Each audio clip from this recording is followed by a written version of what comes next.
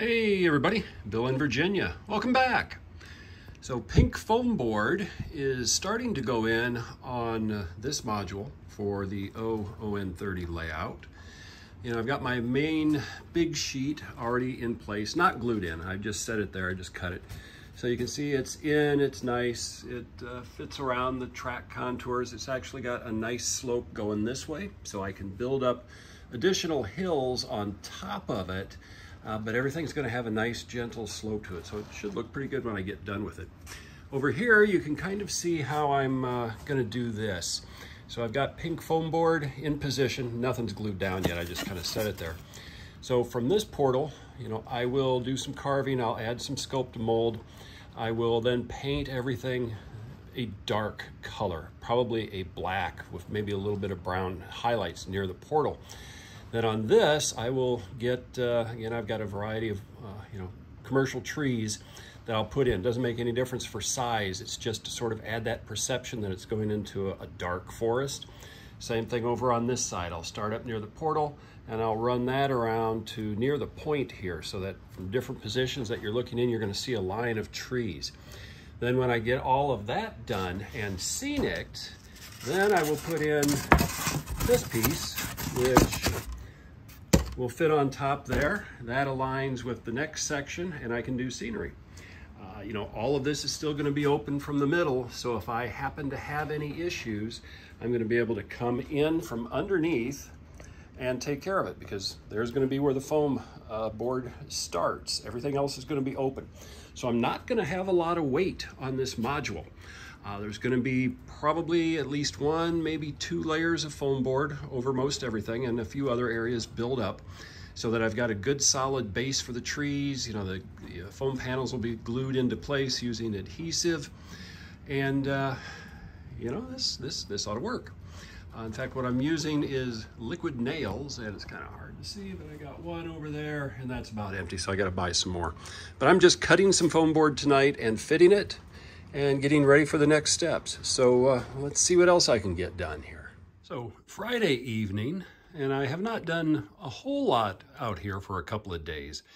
I uh, did not have any adhesive and I have uh, solved that. And right now, that top piece, I'm letting the adhesive sit because it's uh, sort of pressed into place a little bit. So I want it to keep its shape. These uh, chunks of foam board have not been glued in, but I've been just sort of setting them out to get a feel for how I want the shape of the scenery in here. Because this is the seam between the center module and, you know, on this side it's the uh, left module. And I want to make that hill look reasonably continuous across. How I'm going to hide the seam in this area once I get to it is I'm going to make a, sort of a, a gully similar to what I've got here. I can have it so that it's sort of jumbled. Uh, one of my viewers gave me an idea about using uh, like saran wrap. Now I had been using wax paper on different things, but I'm gonna try the saran wrap because as he pointed out, it can form fit. So I've still got some work to do on this side, but I can put some saran wrap like right here. I can build this piece out to the middle. It's not gonna stick to this side. And then once that kind of cures, I can take and maybe use the same piece of saran wrap or get another, put it in again, press it off over this side, and then do this part of the scenery. So I'm gonna give that a try. So what I'm gonna do yet tonight is I'm gonna glue these up and uh, continue to work around. I've got a little bit of pink foam board left. I am gonna have to get some more. So I'll get those glued. I'll redo this area a little bit. I'm gonna put like a culvert here. Uh, the track just naturally kind of comes to the end, so I can put uh, some uh, details on this without actually needing to cut anything out. At least on this side. I might do a little trim over on this side to kind of bring it up, but uh, I can do that even with it in place. That's not a big deal, but I will probably do that before I put a whole lot down here just so I can get access. But uh, we're making progress. We'll uh, see what I can get into as we go through the weekend here. Still Friday night. Gotta love construction. Uh, everything that's up there is now glued. I'm leaving some of the clamps in just to let the adhesive set overnight uh, so it gets a good bite. These pieces I'll be using, oh, back there. Because you can see, I've got kind of a cliff that's gonna go around. I will continue that on the other side of that divide, kind of hide a little bit. And I dug out a whole bunch of uh, commercial trees that uh, some look okay, some look ugly. Uh, I will make them look decent to uh, hide in the shadows as the forest gets thick, but that'll come maybe later in this video. Yeah, we'll see. Well, Saturday afternoon, and uh, was on back on track uh, this morning. Had a great time with uh, all the guys on there. Good conversation, a lot of fun. So I'm not making much progress today, uh, at least not like what I wanted. I went to uh, both home centers that are real close to me here and they did not have the one inch uh, pink foam board, which is what I prefer to use on this one. Just easier to work with. It's a little more flexible, but it's thick enough that like the three quarter inch, uh, you know, you can poke a tree all the way through it. So didn't have any, but I've got a few pieces. So I'm gonna go and start working on the uh, other side of the backdrop there. And I should be able to put in a few, uh, like I was talking about, I think in the last segment, so I can sort of continue this look uh, a little bit farther around. So I'm gonna start doing that. Uh, I've been outside for a while. I've been enjoying a beautiful Saturday here in Richmond, Virginia, but it's time to play on the layout. So later in the afternoon, now on Saturday, I've uh, been in and out, uh, doing stuff in the yard and playing on the railroad. So I'm ready to uh, do a little bit of foam carving. I'm just gonna kind of get rid of the uh, more angular look. Got my uh, hot wire uh, foam knife there. And then I'll go on the other side and do the same thing. I will be able to kind of get rid of the corners, the sharp edges on uh, areas where I've got the pink foam board. So get that done and then we'll take a look at it and see how it looks. Next batch of tree trunks are coming along too. So I've got the uh, trunks uh, glued together and uh, I can start adding the uh, wood glue and ground foam to make basically bark covered trunks. Uh, that'll be working in conjunction with doing pink foam board work. Well, late Saturday evening and I've got basic shapes cut, you know, just took the uh, sharp edges off, did the same thing on the other side of the portal, a little bit over here, nothing major. The rest of that I can fill in with Sculptamold and Mold and make it look decent. But uh, first I'm gonna work on trees a little bit more. And then uh, a little bit later tonight, before I wrap it up, might get the uh, Sculptamold out and start on the back side there. We'll, uh, we'll, we'll see how it plays out here. Well, early Sunday afternoon and uh, making some progress. Still don't have any additional pink foam board, but I got out the Sculptamold and just starting to get uh, that put into place. Uh, places where I've got Sculptamold that are gently sloping, like on the left side of the uh, blue tape covered track. I'm not going to add any uh, additional plaster. Uh, that's just going to be covered with ground cover. So when I get over on this side that I start to uh, have some vertical, I'll start to do cliffs. But again, uh, that's a little ways down the road because I've got more to do. But I'm also running out of Sculptamold. used almost all of my 25 pound box. I've got enough to do on the other side of the portal and maybe a little bit more and that's going to be it. So I'm going to have to order some more, but uh, I'll get a little bit farther today and then I can start uh, transitioning over to making the uh, ugly commercial trees not so ugly and uh, kind of start doing scenery on the back side of that uh, portal. a little later Sunday afternoon and I am now out of Sculptamold as well. uh, so I've got basically the first coat on. I will come back in some areas and I'll add more to kind of uh, smooth out and lessen the slope a little bit. I got that back area with enough, so I am gonna go back there like I said I was. Uh, got a little bit more carving to do there, then I can finish that once I get more Sculptamold. But uh, yeah, this is gonna look okay. You know, the next layer of Sculptamold will help level out and all of the little imperfections will be covered by uh, ground cover Uh, so I don't really care if I got little bumps there. I'm gonna paint them.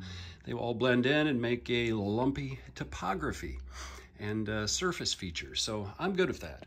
But uh, you can see how this is kind of looking. So I will uh, start doing some of the stuff with the commercial trees here after a while. And I can start doing some more then on that back area. So that'll be the next thing that I'm gonna tackle. So I've got the stain on for the uh, landscape that uh, is on the other side of this portal here. So I'm letting it soak for just a minute or so, and then I've got uh, my uh, wad of paper towels, and I'm gonna go in and blot it off. Not gonna blot it off excessively on this side. I, again, I want it to stay kind of on the dark because uh, it's gonna be in the shadows. And then I can start uh, doing some ground cover and putting some trees in. Ground cover is on.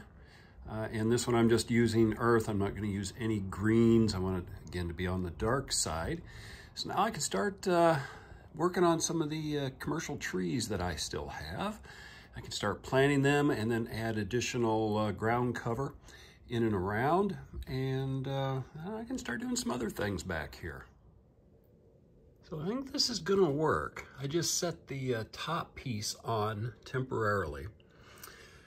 I do have to stain, oh, if you can see it like that, one by two. I'm gonna have to stain that, that uh, ebony, just to kind of make it hide a little bit. The uh, area in the back will get darker as I uh, put the fascia on, but if you can see past the tree block that's gonna be here sort of over this, uh, you'll see a few hints of trees in the background as the train kind of goes in and around. So I think that's going to work. We'll uh, move on to do some other things and uh, come back to this a little bit later. I'll show you from the other side real quick though. And I'll take the top off and then uh, there's how the scenery looks underneath. You know, once I put this back on and basically glue it in place. It's never coming off again, but I can still get access to it from uh, the center if I need. But uh, yeah, it's, it's gonna look okay. But you can see here, I've got to stain this, that uh, ebony, and I need to kind of stain that little piece of that right there and here, just so that from different angles that you're looking at it, you're not seeing the board easily. Uh, a lot of trees will be blocking this, so you might not even see hardly anything in here. But if you do, you're not going to see the one by two. So yeah, this is going to work. All right. Well, late Sunday evening, and I am starting to make uh, a couple of deciduous trees. Uh, so some fairly big ones. So I'm using white, or not white, I'm using carpenter's glue to uh, glue the grapevine wire on a uh, stick trunk, basically. And this is the uh, same grapevine wire that I've been buying at Hobby Lobby, except that it's uh, rope color. No big deal. Again, I'm going to paint it, so uh, we'll see how it goes. But uh, once this sits overnight, tomorrow night I'll be able to come in. I'll be able to then bend it into some different shapes, and then I'll cut some additional sections to kind of make thicker trunk or thicker branches, make the trunk look like it's a decent shape. Then I'll use more of my carpenter glue and some of the ground uh, cover and go from there to kind of start getting it some shapes and then uh, building some of these trees. These two will be used to uh, start the camouflage process on that portal that I've been working on. a little farther on the trunks. So down at the base where the uh, core is, you can kind of see it even in my shadow there. I've got the glue all the way around and then uh, ground foam on it to start building it up. This I will let sit overnight and I've got a pile of uh, essentially additional twigs that I'll start once I get it separated. I'll put them in the center, start to build up individual limbs coming off these, you know, three or four or five, and then a, a little bit coming up uh, higher. So uh, we'll see how this looks. These take a while. Uh, the pine trees, I can whip through those fast. This will take several evenings to uh, even do a couple uh, of this complexity. But uh, I'll give you snippets as we go on the process. So Monday night after work, and not doing a tremendous amount out here, but I did put in the very first uh, of these super trees that I'm going to use to uh, sort of block the portal. The uh, bigger trees that I'm working on are going to go off on the side here and over there. But this is the first batch that just sort of hides the uh, arch. And uh, right now it's pretty effective. You know, you look under, you can still see because I don't have the fascia on, but you can tell there's a continuation. So this is, uh, this is okay. There will be a lot more trees along here, more trees all the way through here. Uh, you know, trees in through here and up in here, up until about where this little gorge is, then I'll have a break. So that should effectively block the view going this way and most of these other directions. You'll see the train going in, but then it should disappear before I even get to the arch, which is what I'm after. Over on this side, should be the same thing. You know, there'll be trees there, a little gap here, uh, more trees here. So if you're looking at it from this end, again, it should disappear. You know, so the only time when you might see a little bit is going to be here, but there'll still be some trees coming along here hanging over. So if I do this right, we're not even going to know that there's a portal there until the train just disappears completely. But we'll see. Uh, some things I'm going to start on here pretty soon is I will get some plaster out so I can kind of plaster this area and right in here and I can do a little bit of carving to align with over here. So I can do a few things uh, even as I'm waiting for some other materials. So uh, now I'm going to turn my attention to the bigger trees and uh, continue on those. Starting to take shape. Got the central cores in. That's where I've got the twist tie and I've sort of pulled some of the branches out. I will uh, trim those more once the uh, glue all sets and I'm ready to go on to the next step. But uh, still got a lot of work to do on these. It's gonna be at least another couple of evenings before I'm ready to do some final assembly and painting. So these are starting to come along. Uh, still working on them, putting on layers of the wood glue, building up some of the trunk pieces yet. But um, think probably tomorrow night I will be able to start the next step on this. I'll be able to add a few more uh, layers of glue yet this evening before I wrap it up. But uh, these will be a couple of nice old trunks with lots of foliage on them. So this last few segments on uh, this episode are going to be making a deciduous tree. So I've been showing uh, few clips as I've been working on these, like this is going to be an old oak tree or something similar.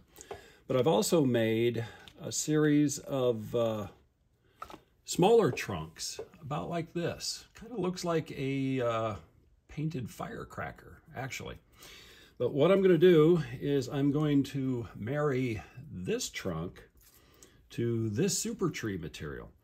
I'll get it up here and I will have a nice O scale size tree that will be roughly, oh, looks like about 10 inches tall.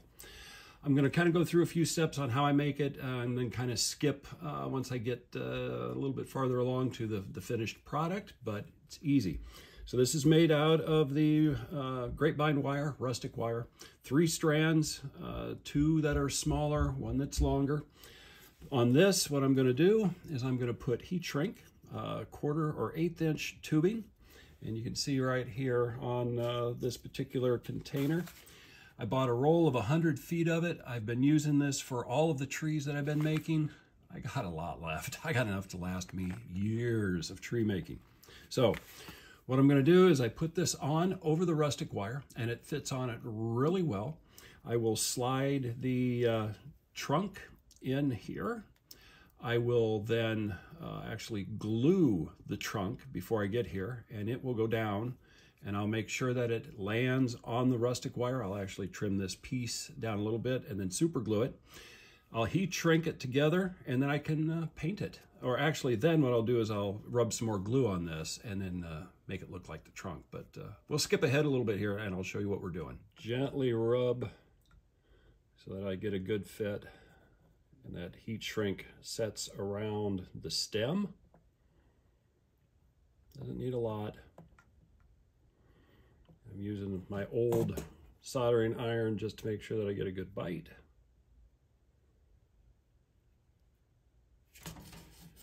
All right, so I will just let this sit for a little while. All right, there's my basic tree shape. Now I'm gonna come back in.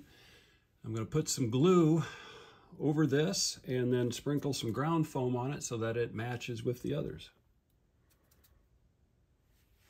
Okay, basic tree shape is done. What I'm going to do is I'll let this dry for a little bit. Then I will take it out and I will paint it same camo brown that I've been using for others. And then I am uh, ready to flock it. I'll be able to flock it yet before uh, tonight's over. All right, this tree is ready for uh, final action here. Put the glue on, put the ground foam on, painted it brown. Painted the uh, top the canopy, uh, mostly brown, doesn't have to be perfect. I'm going to use the uh, Woodland Scenics Blended Turf. I've got my hairspray ready. Next shot, we'll show a completed tree. And there is the tree. It is finished and in a position. I don't know that it's going to stay there. I will uh, put the bigger ones in once I get those built, and then I will start to cluster other trees around them. So this one's in here temporarily at this point. I will also uh, paint uh, so I can start to put trees in here. I'll get the plaster out and do more there. So I'm pretty sure I'm gonna move that one, but you can just see quick and easy little tree. Again, scaled for O scale. So uh, fits in with the landscape, looks pretty good. And with that, that's gonna do it for this video. So uh, take care and keep having fun on your layouts. Until next time.